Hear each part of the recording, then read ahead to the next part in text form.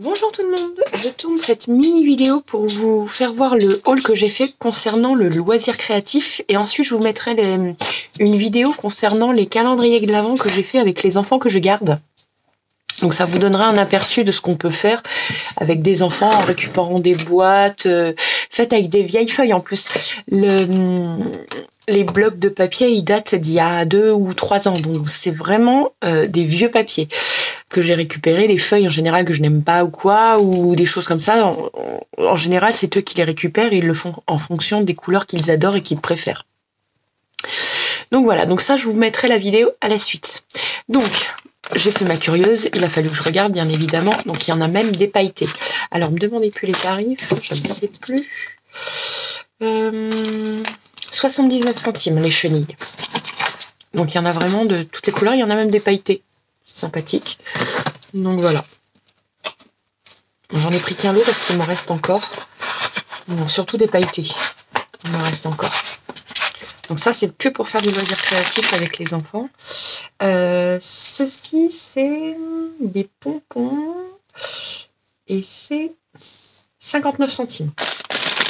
Voilà.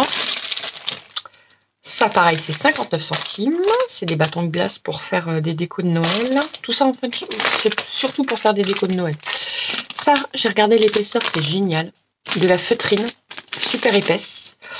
Euh, et ça, c'est 89 centimes. Donc, j'ai pris deux paquets. Et ça, c'est de la feuille de mousse. Bon, allez, la feuille de mousse n'est pas très épaisse, mais enfin, bon, c'est toujours ça. Pour faire des petites boules de Noël ou autre. Et ça, c'est pareil, c'est 89 centimes. Voilà, elle est assez fine. Je sais pas ce que ça donne si on colle une feuille de pailleté, si ça le fait ou pas, si elle la découpe, si ça se décolle pas. Je sais pas, je ferai mes tests. Donc voilà, sur ce, je vous mets la vidéo euh, des calendriers de l'Avent avec les enfants que j'ai, ceux que j'ai réalisés avec les enfants. Et puis bah moi j'ai fait la c'est pour vous dire un peu, moi j'ai fait la structure. Euh, ils ont collé les boîtes, la structure en forme de traîneau, c'est moi qui l'ai découpé dans du carton, enfin avec euh, pour que les boîtes elles rentrent dedans. Et eux ont collé les bouts de papier et puis on a coupé, enfin j'ai coupé au cutter tout autour de la forme du traîneau pour pour pas qu'il se coupe déjà. Et puis, euh, et puis voilà. Le reste, vous allez voir, vous allez, vous allez reconnaître certaines vidéos que j'ai fait avec vous. Pas l'ange. L'ange, c'est vrai, je ne l'ai pas fait en vidéo. Il faudrait que je le fasse pour samedi, la vidéo du, du papier pliage pour l'ange. Donc voilà. Sur ce, je vous souhaite une excellente journée et à très bientôt. Je fais une micro vidéo pour vous faire voir les calendriers de l'avant des enfants. Voilà. Alors, c'est des boîtes que je récupère et auquel j'ai coupé un gros gros parce qu'ils sont énormes, hein, on s'en rend pas compte mais ils sont très gros.